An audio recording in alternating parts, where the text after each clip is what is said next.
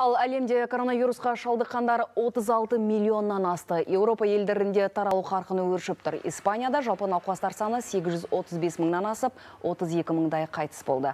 Бұған дейін эпидахуалдың нашарлауына байланысты Мадрид қаласы оқшаулы режиміне көшкен еді.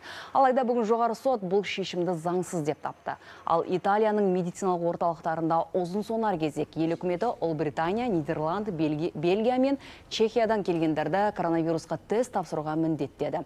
Науқастар саны күрт көбейген соң билік ашық ауада да маска тағып жүру туралы үкім шығарды. Ресей астанасы Мәскеуде де талаптар күшейтіліп жатыр. Ертеңнен бастап оқушылар мен зейнеткерлер үшін қоғамдық көлікті жүру жеңілдіктері шектеледі. Өткен тәулікте 11 мыңнан астам адам ковидпен тіркелген 191 науқас қайтыс болды.